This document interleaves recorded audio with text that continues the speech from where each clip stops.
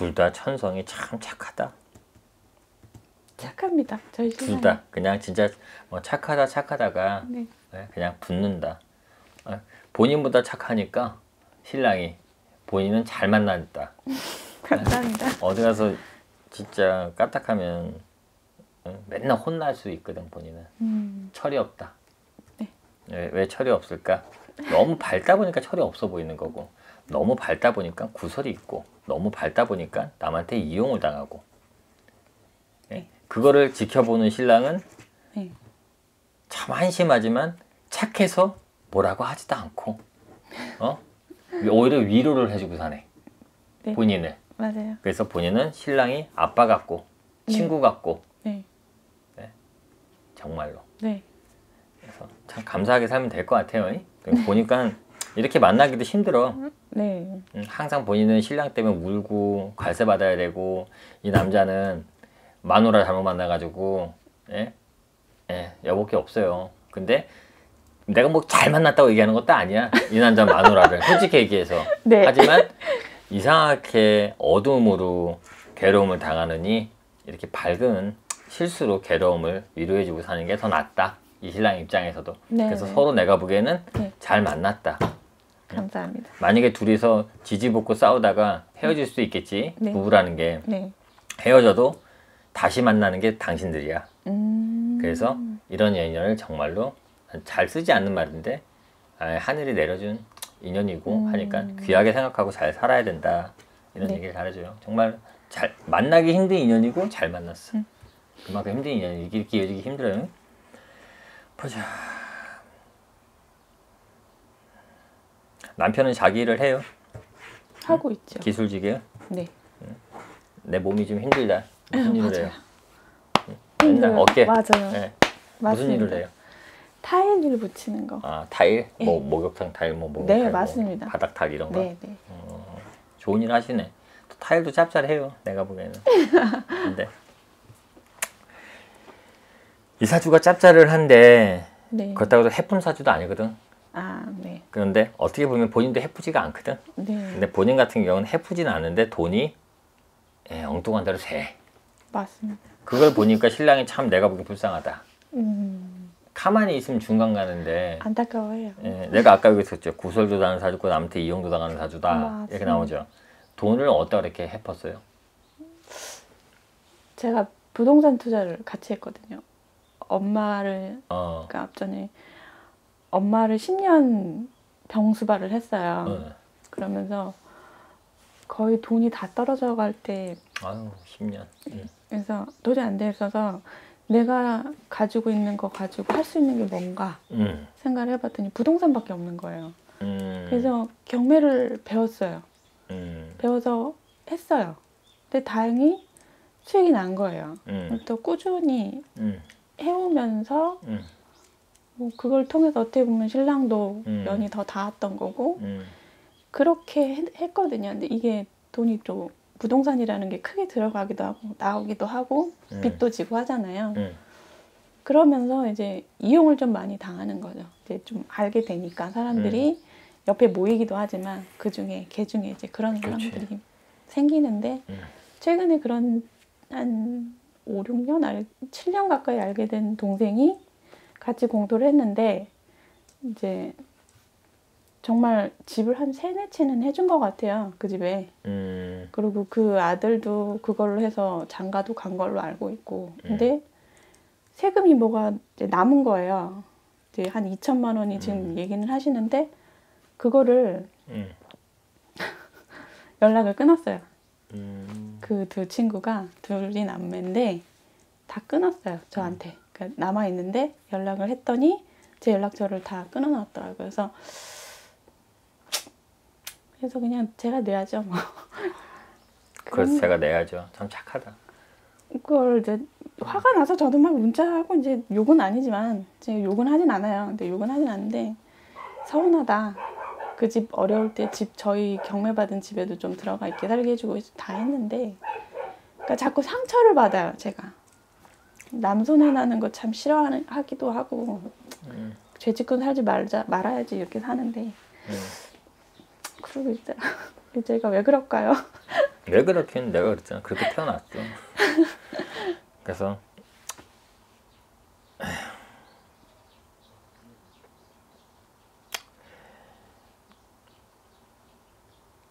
참 그래요. 뭐가 악심을 가지고 했으면은 나도 이렇게 무슨 이래라 저래라고 하는데 또 선심을 갖고 했던 부분에서 또 이러니까 왜 울어? 속상해서요. 아이고. 왜냐면 정을 많이 줬는데 어, 그러니까 속상하더라고요. 저도 사람인지라. 당연히 속상하죠. 어떻게 본 건 사기지. 예, 저도 막 문자 남겼어요. 너 이러면 나도 법적으로 할 거야. 막 이러긴 했는데 음, 내가 그래 봐야 음. 내가 뭐 법대로 해도 될 것 같은데 왜? 그럴 순 있는데 굳이 그런 생각이 들더라고요. 또 벌 받겠지 자기네들도. 안 받아? 생각해요. 안 받아요? 어, 안 받아 잘 살지. 좀 받았으면 좋겠는데. 네? 안 받아 그 벌은 지금 당신이 받고 있어. 아 그래요? 예? 어. 지금 여기 와서도 울고 있잖아. 속상해서. 어? 음, 그래서 항상 선행도 네. 넘치면 모지란히 못한 거야. 그렇게 뭐든지 적당이야. 신랑이 더 속상해요. 이런 거 보면. 당연하죠. 신랑 뼈 빠지게 일해서 지금 맨날 두들기고 아프고 쓰신데, 어? 뭔 말인지 알겠죠? 네. 그러면 돈 100원도 내가 보기에는 신랑한테 미안한 거다. 음, 알아요? 네. 작은 돈도 아니고 몇 천만 원이 네. 솔직히. 네. 근데 나는 이래요. 이번 기회에 네. 뭐 자꾸 그런 게으름을 피우지 마. 네. 어? 본인이 뭐 그것도 게을른 거야. 어? 귀찮은 거고 알아요? 네. 내가 그냥 정콩을 찔러주는 거예요. 네. 게으름 핑계를 대지 말고 음. 모르겠어요. 본인이 지금 뭐 다 삭혀서 내린 게 아니라면 네. 나는 이번 기회에 그냥 한번 정당하게 법으로 해서 음. 해봤으면 좋겠어. 왜냐면 음. 그런 행동을 한 번 안 하고 또 지나가잖아. 음. 그럼 다음에 또 그런 일이 없으란 법은 없어. 음. 근데 이런 행동을 하고 한번 지나가잖아? 네. 힘들어 봐야 본인은 아유 그냥 내가 한번 울고 말지 내가 한번 속상해하고 말지 네. 이렇게 하고 지나가는 게 습관 돼 가지고 그때도 그게 또 아유 울고 지나가지 말고로 갈 수도 있는데 본인이 법적으로 걸고 가면서 가면서 가다 보면은 진짜 더럽고 치사하고 정말 이거 잘못됐구나 진짜 못된 거구나 내가 정말 멍청했구나 라는 걸 더 느끼게 된다 왠지 알아 부부가 이혼할 때는 네. 아주 서로 아주 그냥 다 드러내요 거기다 없는 것도 막 맞아요. 그죠? 근데. 지금 이- 그렇게 될 상황이거든 법으로 하면 네. 얘네들이 이렇게까지 생각을 하는구나 음. 괘씸하다가 생각 왜 그런 걸 겪어야 본인도 변해 제가 왜 이러지요? 제가 바본가요? 제가 너무 착해서 그런가요? 알면은 좀 바뀌어야 되는데 그게 연속으로 간단 말이야 항상 그래왔기 때문에 그래서 이번에는 그냥 넘어가는 거 본인 스스로가 그건 잘못된 거야 알겠습니다. 알았어요? 그래서 저한테 그 이거는 뭐 구술해서 그게 고쳐주는 게 아니라 본인이 한번 고생도 해보고 네. 그리고 본인 마음과 같지 않게 이렇게 경험을 하다 보면 네. 아 정말 내가 크게 깨닫는 게 있을 거야. 그래서 나는 그래요. 용서해줘라, 뭐 해줘라. 그것도 어떻게 보면 선한 말이야. 네. 그런데 아니요, 본인 자신을 위해서 한 번은 제대로 가르쳐줘라. 음. 가르쳐주는 것도 왜너 제받아라는 것도 선행 아니야. 그렇지 않아요? 그렇죠. 그렇죠. 그것도 악행이 어떻게 보면 네. 그러니까는 어, 한번 제대로 한번 해봤으면 좋겠고 내가 보기엔 그렇게 하면은 법적으로는 내가 보기에는 본인이 유리합니다. 충분히. 네. 예, 그것도 그냥 지나가는 것도 낭비다 낭비. 알았어요? 네. 그거를 더 깊이 가면 게으름. 네. 신랑은 뭔 죄야? 거기까지만 얘기할게요. 네. 둘 사이 이렇게 본 지금 결혼한 지 얼마 됐죠? 한 5, 6년 정도 5, 됐어요. 6년? 아직 아이가 없네. 네. 시험관 해봤어요? 지금 한 2년 전부터 하고 있는데 그지? 자연 임신이 쉽지 않을 것 같아. 아 그래요? 예. 신랑도 씨가 약하고. 네. 예, 솔직히 맞습니다. 어, 인정해야죠. 그건 인정. 예. 인정합니다. 그렇다고 본인 다도 그렇게 튼튼한 건 아니야. 네. 그렇기 때문에 자연적으로 쉽지가 않아. 그렇다고 해서 이 사람들이 무슨 삼신의 벌점이 있어서 애가 들어서지 않는다 이렇게 나오진 않아요. 네. 근데 현대 의학이 있으니까 옛날 태어났으면 좀 애보기 힘들었을 거야. 네, 네, 네. 근데 요즘에는 애를 낳기 싫으면 안 낳기도 하죠. 맞아요. 그죠? 네. 또 애를 낳고 싶지 않으면 안 낳는 수술도 하죠. 네. 예, 세상이 꼭 신의 뜻대로 다 되는 것은 아니야. 음, 그쵸? 감사합니다. 예.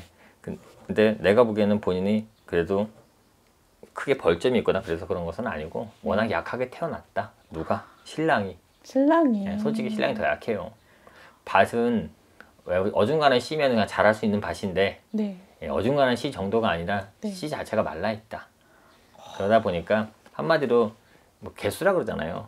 그 정자의 네, 개수가 너무 정확하신데 그죠? 저희 병원 갔어요. 예, 굉장히 적어요. 맞아 신랑이 예, 이렇게 기형이 많은 거예요. 음, 정상적인 애가 별로 없어서 음. 딱 의사님이 딱 그러시더라고요. 음, 일반적인 남자에 비해서 많이 음, 떨어진다고. 그죠? 네. 맞아요. 건강하지 못한 것과 개수도 그렇기 때문에 확률이 너무 없죠. 네, 맞아요. 그런데 있어도 정말 약한 것이 오니까 네. 또 밭이 또 그러면 기름지면은 그 약한 것도 살리겠는데 네. 내 밭도 약하니까 내가 보기엔 쉽지 않다. 그래서 아이고. 그렇게 결정한 것 같은데 네. 내가 보기엔 이 문제는 크게 없어요. 네. 부부간 하지만 그것이 문제야. 네. 아이 네. 너 지금 언제 언제 했어요? 지금 이제 2년 전에 한 번 했다가 다 망치고 음. 다시 이제 두 개 정도를 모아놨어요. 음, 그리고 이번에 또 한 번 모아서 음, 세개 모은 다음에 이제 할 거예요. 진행. 음, 그래서 저는 그걸 위해서 체, 뭐, 음, 살도 많이 빼고 음, 좀 이제 약간 좀 그렇게 한 상태예요. 음. 아, 좀 살을. 많이 뺀 거예요? 한 4kg 뺐어요. 운동해서 열심히 했습니다.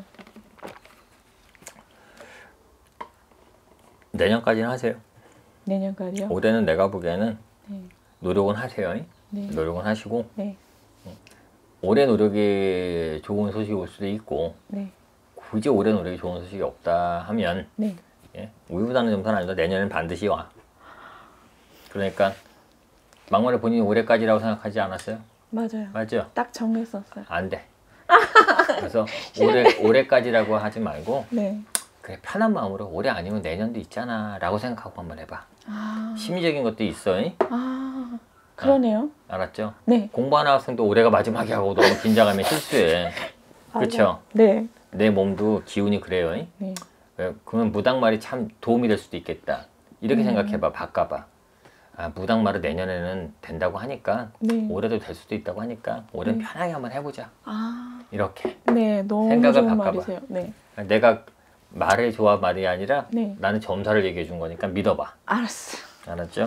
그러면 내가 감사합니다. 보기에는 좋은 소식이 있다. 왜냐면 그래도 착하게 살았다. 잉? 그래서 신랑도 보자. 팔자에 그래도 네. 어렵게 어렵게 하나 얻어가는 그래요? 어, 하나 얻어가는 게 빛인데 하지만 그걸 인간이 노력을 해야 비치는 건데 지금 네. 노력을 하고 있잖아요. 네. 그러니까 그렇게 노력을 해봐요. 알았어요? 그러면 내년에 보자. 산다. 네, 내년 4시인가? 내년에는 비쳐.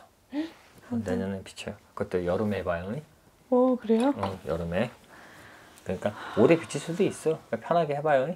네. 올 내년에는 비치니까 네. 내년에 상당히 밝다.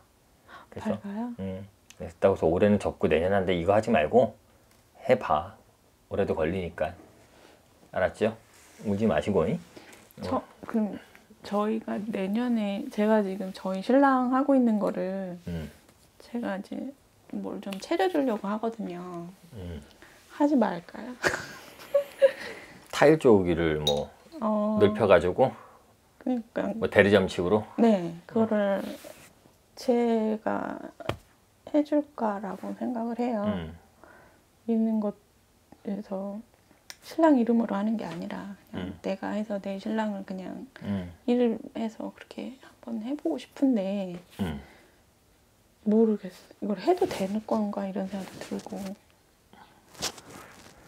그